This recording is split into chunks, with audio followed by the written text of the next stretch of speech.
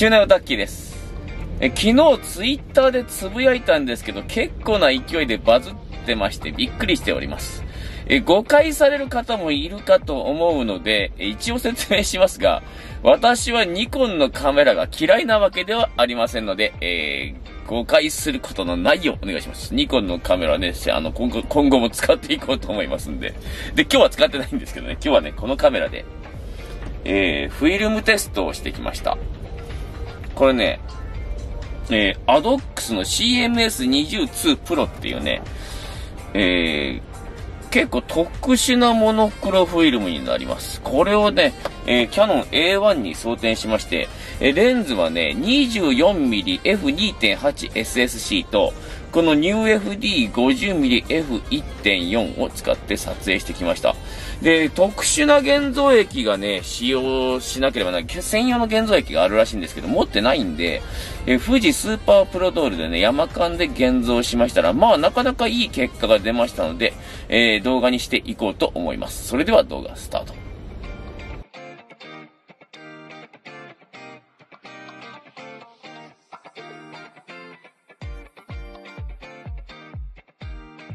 はい、今回ね、使用しましたこの ADOX CMS22 Pro っていうフィルムなんですけどもね、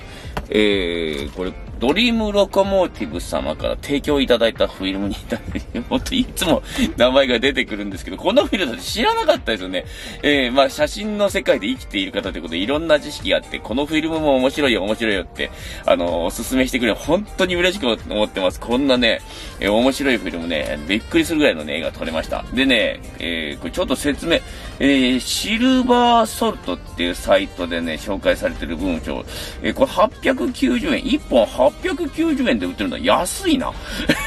買おうかな。1ミリあたりの解像度が最大800本。世界で最もシャープ、最極小粒子。最高の解像度を持つ白黒フィルムの決定版ということで、えー、モノクロ ISO20、えー、36枚撮りでこれ890円で売られてるみたいです。えー、で、CMS22 フィルムの特徴。アドックス CMS22 は他のどのフィルムよりもシャープです。どのフィルムよりも最粒子。他のどのフィルムより解像度よりもミリメートルあたりのライン数が多い。という特徴を持ちます。フィルムは対角線で2.5メートルまでの自由な引き伸ばしを実現。特殊な粒子はワンサイズのワンレイヤーのみで構成されています。それはまた最も硬い乳剤の一つです。エマルジョンと、これ、これ多分、これ翻訳ソフトで翻訳してるちょっと微妙に、えー文章がおかしいですが。えーアンチハレーション層がシャープさの実現とハレーション防止効果を保証しますということですね。でね、このね、1ミリあたりの解像度800本っていうのはね、あの、僕は計算したわけじゃないんですけど、かい、どっかに書いてあったんですけどね、えー、35ミリフルサイズで5億画素と。5億画素というね、とんでもない解像度になるらしいです。で、5億画素ってね、まあ、今ね、よく言われて、よく、有名な高解像度のデジタルカメラね、高画素機は、えーソニーの α7R4。で、これが62メガピクセル、えー6200万画素ということなんですけど、これの8倍ぐらいのね、解像度になってくるんですね。で、まあ、あの、僕今回現像したのはね、専用現像液ではなくてね、富士スーパープロドールで現像しておりますんで、多少はね、ちょっと落ちてるとは思いますけどね、あの、持ってるスキャナーがね、えっ、と、エプソンの GTX900 という、えースキャナーで、まあ、スキャンするんですけど、これがね、6400dpi、ドットパーインチ。6400ドットパーインチでして、で、この6400ドットパーインチの解像度ってどのぐらいかっていうと5500万画素なんですよ。大体ね。で、まあ、全然その数字的に追いついてないんですが、だからこのフィルムの魅力をね、伝えるのにはちょっと不十分なんですけどね。まああの、ドーピングして 12,800dpi でやろうかなと思ったんですけど、天文学的にスキャンに時間がかかるので、まあ今日はとりあえずその5500万画素で、えー、のね、作例をね、紹介していくわけなんですけどね。まあ使ったレンズはね、このレンズ、えー、NewFD50mmF1.4 と、20、えー、FD24mmF2.8SSC ということですね。えー、ちょっとね、えー、解像度的にはそんなに伸びないレンズではあるんですが、えー、どれもこれもね、比較的絞って撮ってます。まあ開放で撮ってるやつもあることあるんですが、えー、そんなわけでね、まあ今回のね、その作例はね、あの、流浄感が出てるか出てないかとか、まあそういうあたりに、えー、主眼を置いて見ていただけたらと思います。あとね、えー、この現像液が、専用でないとなるとね、あの、かなりハイキーに出る、かなりのハイコントラストに出るらしいです。で、僕はハイコントラストの写真が好きということもあるんですが、今回ちょっとハイコントラストすぎるなっていう嫌いは確かにあるんですけどね。まあまあ、エモい写真になったぞと。えー、専用現像液を仕入れてまでっていうね、あの、本数ではないんでね、これをメインにね、えー、フィルムをメインに、えー、する方はね、専用現像液を購入されてもいいとは思いますが、まあ、えー、っと、D76 とかね、えー、っと、なんだっけ、その、富士スーパープロドルとかで遊んでもまあいいんじゃないかと思いますが、もうこればっかり使うって人は、このアドテック4現像液っていうのをね、購入した方がいいような気がしますね。えー、ちなみに値段いくらぐらいするのはちょっとね、わかんないんですけども、あ、出てきたな。あ、でも売り切れになってるよ。売り切れ、売り切れってか、2790円もするのか。えー、これどこで買うのかな？他にないかな？ちょっとわかんないんですけども、売り切れかよ。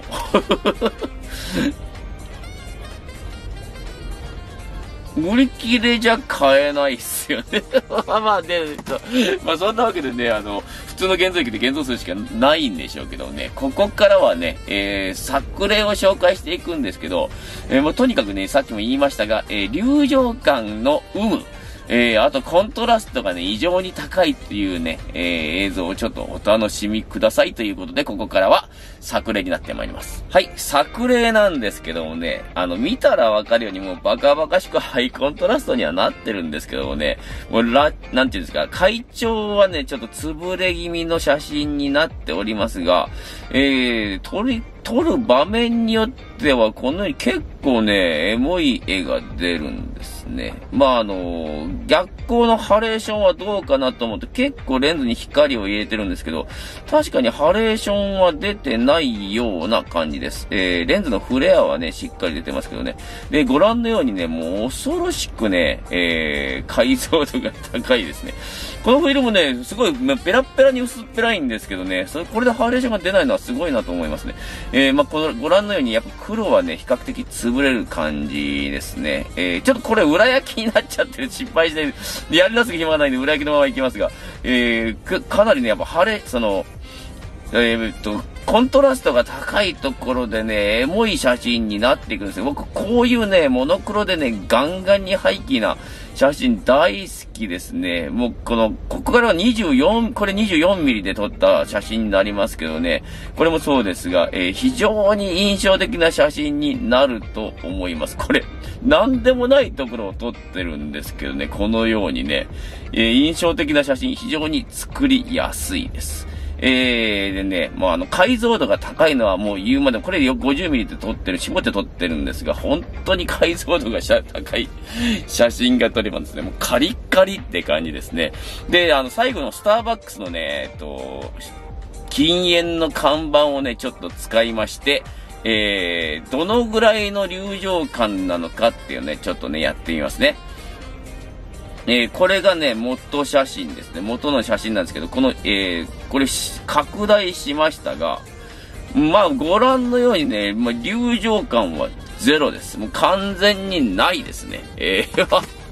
5億画素のフィルムを5500万画素のスキャナーでスキャンするんだからね、流浄感が出るわけがないんですね。え、ちなみにこれ以上ね、アップするとね、もうあの、えっ、と、ギザギザが出てしまうので、まあ、ここまでにしましたが、5500万画素で、えー、最大改造にしても、まるっきり流浄感は感じられませんでした。えー、このフィルムなんですけどね、890円で買えるんだったらもうバカ安ですね。絶対いいと思います。え、現像液がね、ちょっと専用現像液売り切れってどないやねんと思いますけど、現像できませんってね、説明には書いてあるんですけど、ご覧のようにね、現像できます。えー、で、今回はね、えっと、富士スーパープロドール50%希釈、えー、気温26度でね、5分ちょっと切るぐらいの現像時間で現像しておりますがね、かなりいい感じに仕上がってると思いますね。もうちょっと長くてもよかったから、長いともうちょっと会長出たかなという気もせんでもないんですが、まあこれはこれでいいと思います。えー、まあ A1 で撮ってきたんですけどね、今度違う、もうもう一本あるんでね、違うカメラに装填して、えー、やってみようかなっていう気もしますね。もっとね、解像度が出るレンズ。解像度が出るレンズといえばニコンになるんだが、えー、ハーフカメラと撮っても面白そうなんだけど、ハーフカメラでね、36枚撮りを撮るとね、え、っと途中で挫折しそうになるんです。70、80枚近く撮れてしまうんでね、ちょっと何、何のカメラ、どのカメラにね、入れようかっていうのはね、すごく悩ましいんですが、えー、もしね、えリクエストとかありましたらね、コメント欄にね、え僕が持ってるカメラを把握してる、レンズを把握してる人になりますけど、ペンタックスで撮ってくれっていうのもありですね、えニコンで撮ってくれっていうのも、オリンパス、あ、オリンパスもいいな。え ちょっと悩ましいところではありますが、えーオリンパス、えトリップ35とかでもいいかもしれないですね。まあまあ、どの、どのカメラで撮るか、どのレンズで撮るかっていうのをね、え希望をね、ちょっとあのリクエスト、コメント欄の方にね、えしていただければ面白いかなと思ってますね。はい、今日はね、あの、ドリームロコモーティブ様の提供のおかげでね、本当にこの面白いフィルム、えー、使うことができました。えー、これまだ通販でね、はい、手に入ると思うので、えー、ぜひね、あの、興味がある方はね、入手してみてください。本当に890円で買えるんだろうか。ネットの速度が遅くて動かないや。えー、送料。絶対送料がいるよね。送料計算。送料はやっぱ必要ですね。東京都で計算してみましょうか。えー、東京都でね、えー、ヤマト運輸で670円、レターパック520円ということで、えー、これ本数をね、たくさん買ったら安上がりじゃないかな。このフィルムなかなかいいぞ。1000円切ってるんで、えー、たくさん買えばね、結構元が取れるんじゃないかな。アクロスより安い。いや、こう、本当かな？え、まあ、そんなわけでね、えー、ぜひぜひ、あの、使ってみてくださいっていうことなんですが、非常にね、フィルムの厚さがもうペラペラに薄いです。ものすごく薄いんで、現像タンク、自家現像の方でね、えー、現像タンクの？ラチェット式の現像タンクをお持ちの方はね、かなり慎重に巻かないとシワがバリバリ入ってしまいます。えー、で、あの、スキャンもしにくいですね。結構ね、あの、カールがつきやすい、えー、フィルムみたいでね、えー、スキャンもやりにくいんで、その辺はちょっと扱いが難しいフィルムになりますね。えー、まあ、評価の方もね、非常に扱いが難しいフィルムっていうことになってるんですが、ドンピシャに当たり、当たるとね、かなりエモい絵が撮れますよ。このフィルム。本当相当に面白いフィルムだと思います。はい、えー、今日の動画はね、まあ、こんな、こんな感じです。まあ、専用現像液がね、手に入ったらいいんですけど、売り切れかよ。まあ、まあ、SPD でもね、現像できるんでね、えー、もしね、興味が、えー、湧いた方はぜひお試しください。えー、それでは、あの、興味が湧いた方はぜひ、ゲットということですね。はい、えー、今日の動画はこんな感じですね。ここからはね、えー、視聴者様の作品投稿のコーナーになってまいります。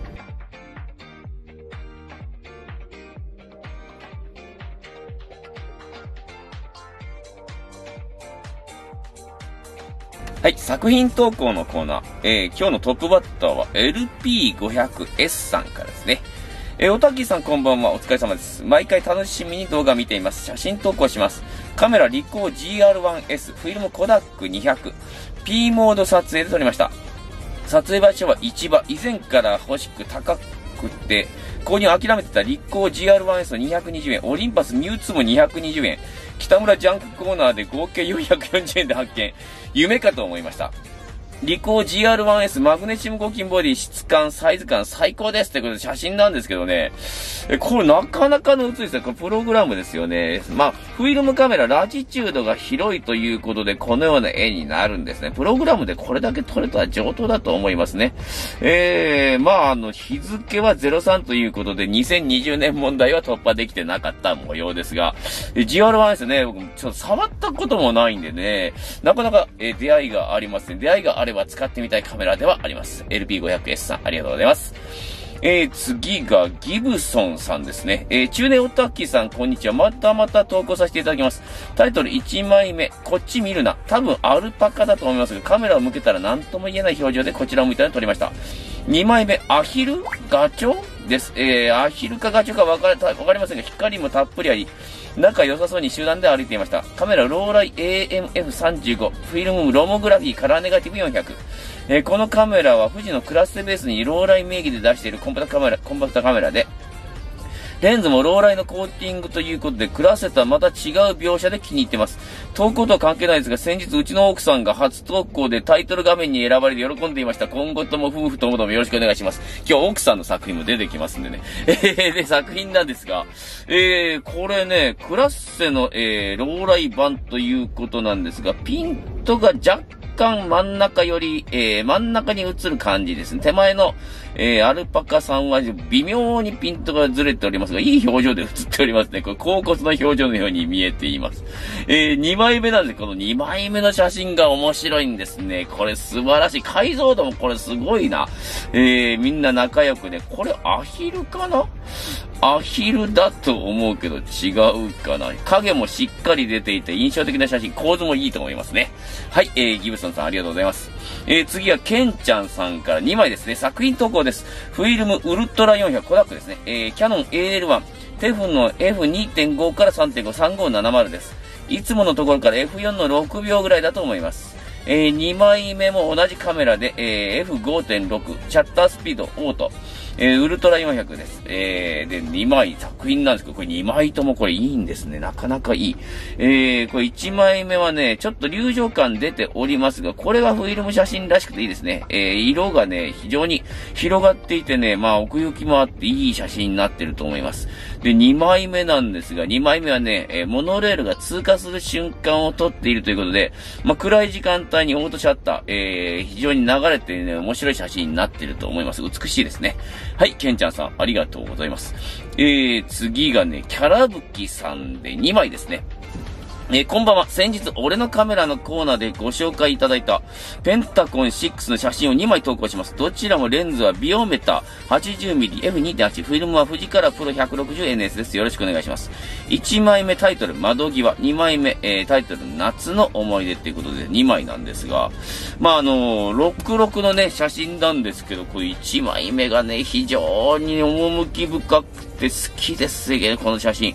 えー、カラーネガのね、え、ラチチュードの広さをうまく活かしてね、窓の外も微妙に映ってる。これ微妙に映ってるのがね、露出的にすごくいいと思います。で、2枚目なんですけど、2枚目ちょっと特殊な発色をしてるのはプロ 160NS の特徴もあるとは思いますがね、えー、ナチュラルカラーになっておるんですけどもね、これ、えー、夏のね、入道具もね、えー、綺麗に捉えた作品になっております。これ66でね、撮るのがね、またいい構図になっておりますね。えー、いい感じであると思います。はい、キャラバキさん、ありがとうございます。えー、っと、今日の、え、もう一名か。えー、カンカンフォトさんの奥さんですね。えー、こんばんはいつも動画楽しみにしています。今回は新しい相棒になったキャノンオートボイルナとオリンパスペン EE3 で撮影した写真を投稿します。1枚目タイトル、天まで届け、えー、カメラ、キャノン、オートボイルナ、フィルム、コダック、カラープラス200。2枚目、一休み、カメラ、オリンパス、ペン、EE3、フィルム、コダック、ゴールド200。1枚目の鈴木は昼休みに散歩がてら職場近くの建てから。2枚目、夫婦でカメラを持って、小名浜港を散歩中に撮影したスナップ写真です。ライダーさんの休憩中の立ち姿が素敵だったので、思わずシャッターを切りました。よろしくお願いします。ということですね。えー、で、作品なんですけど、この1枚目が素晴らしいな。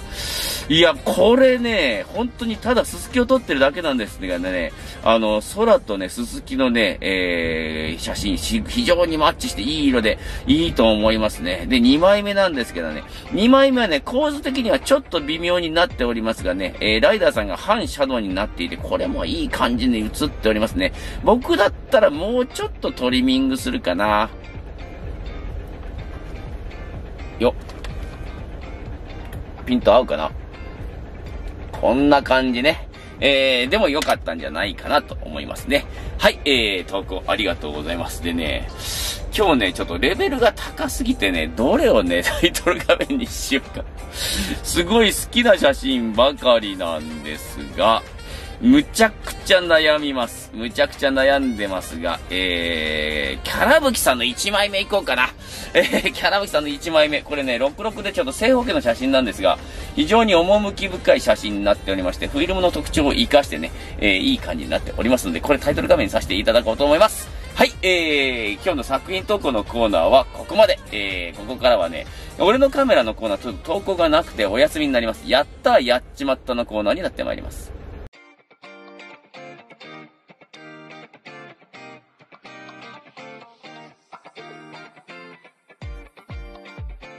はい。やったやっちまったコーナー。今日の投稿はね、フリーマンさんからですね、えー、久しぶりにやったーへのコーナーへ投稿です。体調不良で1年近く放置してカメラ4台修復完了。オリンパス6とセミゼノビア、ワルツフレックス、セミファースト4台感動してますということなんですけどね。まあ、この4台もいいんですけど、後ろが激しくすごいな、これ。すごいな。これ、俺のカメラのコーナーのタイトル画面にしたいような写真ですが、えー、オリンパス6なんですけど、レンズ綺麗ですね。結構綺麗ですね。僕のはね、結構白濁してるんですよ。うん、これね、一番後ろの球まではまあ見えないんですけどね、この時代のね、オリンパスのレンズはね、100%と言ってもいいぐらい白濁するんですが、このカメラ結構いい感じで、えー、これ撮れるんじゃないかなと思いますね。えー、僕のオリンパス6もちょっと磨いてみなきゃいけないな。磨いても綺麗にならないかもしれないですけどね。えー、まあ今日のね、動画はこんな感じで終わっていきます。えー、先ほどのツイッターの話なんですけど、ぐんぐん伸びてまして、もうね、インプレッションが3万5千を超えていってるんですがね、えーえー、まあ、ツイッターのこれが怖いとこということで、誤解を生まないように祈ってるところです。えー、ニコンのカメラを嫌いなわけではありません。えー、変なこと言ってくる人が、えー、嫌いっていうだけの話でございます。まあ、これ動画やってたりね、ツイッターやってたらもうしょうがないんですけどね、ある程度はね。えー、まあ、多少の誹謗中傷はね、有名税とでも捉えておきましょうか。えー、こんなこと言ってるとまたディスってるやつがなんか言いそうだな。まあ、そんなわけで今日の動画は終わっていきます。えー、いかがだったでしょうか。えー、次の動画でいつもね、予定がないんだな。写真を撮り進んでないんですね。